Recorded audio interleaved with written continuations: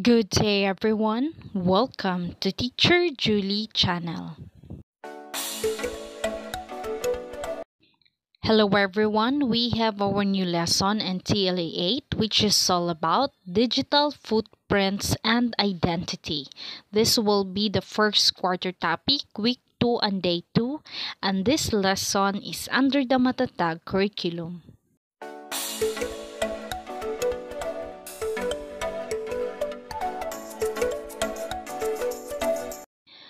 For the objectives, by the end of the lesson, 80% of the learners will be able to. First is to explain the concept of digital footprints, including the distinction between active and passive digital footprints. The second one is to propose ways the situation could have been handled better, applying their understanding of digital etiquette rights and responsibilities, security, and reputation management. And the third one is to recognize the importance of thinking before posting, using privacy setting, and engaging in clear communication to protect their digital identity. For the explicitation, so let us define what is a digital footprint. A digital footprint is a trail of data that individuals leave behind when they use the internet. This includes all the information that is shared both intentionally and unintentionally through various online activities such as social media interactions, website visits, emails, and online shopping. Digital footprints can be categorized into two types. First is the active digital footprints. So these are the data trails you leave intentionally such as post on social media, blog entries, or any other content you actively upload or share online. The second type of digital footprint is the passive digital footprints. These are the data trails you leave unintentionally, so such as cookies that track your browsing habits, IP addresses, and other metadata collected by websites and online services. The following are the importance of digital So the first one is the privacy and security. So the data you leave behind can be used to build a profile about you which can be exploited for malicious purposes such as identity theft or targeted cyber attacks. The second one is reputation management. Your digital footprint can affect your reputation. Employers, colleges, and other um, entities often search for online information about candidates and inappropriate content can have negative consequences. And the third one is personalization. So companies use digital footprints to personalize user experience, such as recommending products or content based on browsing history. The following are the managing your digital footprints. So managing your digital footprint involves being mindful of the information you share online and taking steps to protect your privacy. So the first one is privacy settings. Regularly review and adjust the privacy settings on your social media accounts and other online services to control who can see your information. The second one is search yourself. Periodically search for your own name on search engines to see what information is publicly accessible. The third one is think before you post. So consider long-term impact of the content you share online. Once something is posted, it can be difficult to remove it completely. And the fourth one is use secure connections. Ensure that you are using secure HTTPS connection when browsing the internet to protect your data from being intercepted. So let us define what is digital identity. Digital identity refers to the online persona that is created through your digital footprints. It encompasses all the information available about you online, including social media profiles, online transactions, and any other digital interactions. Your digital identity can influence how others perceive you and can have the real world world application. The following are the components of digital identity. So the first one is the personal information. This includes your name, date of birth, address, and other identifying details. The second one is the professional information.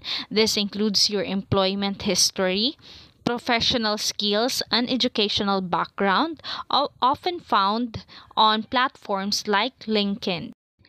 The third one is the social information. This includes your social media activity such as posts, likes, comments, and the networks you are part of. And the fourth one is behavioral information. This includes your browsing habits, purchase history, and other online behaviors that can be tracked and analyzed. The following are the rest associated with digital identity. So the first one is identity thief.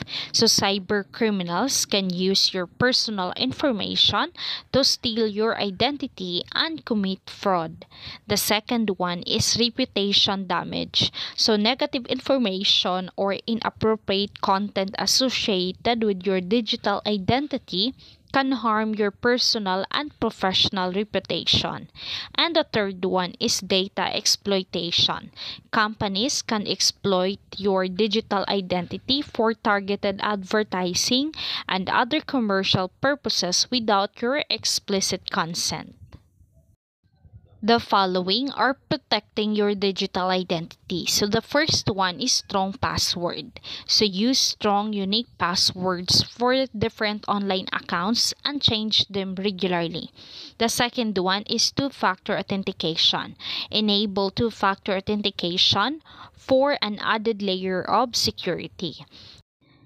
The third one is be skeptical of phishing. So be cautious of emails, messages, or websites that ask for personal information.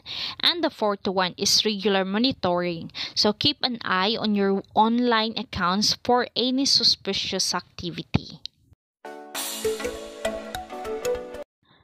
For the work example, guide the students through analyzing the scenario. Ask these questions. What impact did this have on the student's digital footprint and identity? How could the situation have been handled better? Sarah, a high school student, posted a photo of her Instagram account during a weekend party with friends. In the background of the photo, there are some students drinking from red cups, which are commonly associated with alcoholic beverages. Although the cups actually contain soda, Sarah captions the photo, Crazy Night with the Best People. So now let us analyze using the digital footprints and identity concepts. So the first one is the digital etiquette. So let us first identify the ignored element. Sarah did not consider the political implication of the photo and caption. Digital etiquette involves thinking about how your post might be perceived by others and the possible consequences. And for the improvement, Sarah should have reviewed the photo more carefully and chosen a caption that accurately reflected the situation. She could have avoided using hashtag that implied reckless behavior. For the digital rights and responsibilities, so let us first uh, identify the ignored element. So while Sarah had the right to post the photo, she also had the responsibility to ensure that her post did not mislead or harm others. For the improvement, Sarah should have been more mindful on her responsibilities as a digital citizen, considering how her post might be interpreted by different audiences. And for the third one is the digital security. So for the ignored element, Sarah did not consider the privacy setting of her Instagram account. So the photo was publicly accessible, allowing anyone to view and share it. And for the improvement, Sarah could have been used uh, privacy settings to limit the visibility of her post to close friends only, reducing the rest of uh, misunderstanding and wider spread. For the reputation management, so for the ignored element, Sarah did not think about how the photo might affect her reputation and the reputation of her friends. So for the improvement before posting, Sarah should have considered the long-term impact of the photo on her digital footprint and reputation. So how the situation could have been handled better? So letter A, think before posting. So Sarah should have been a moment to review the photo and caption, considering how they might be perceived by others.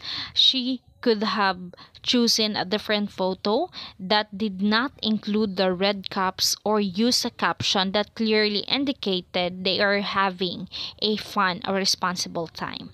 The second one is use privacy setting. So Sarah could have adjusted her privacy settings to ensure that only her close friends could see the post. And this uh, would have limited the spread and potential for misunderstandings. For the third one is clear communication. So if Sarah realized the misunderstanding early, she could have posted a follow-up clarification explaining that the cups contain soda and not alcohol.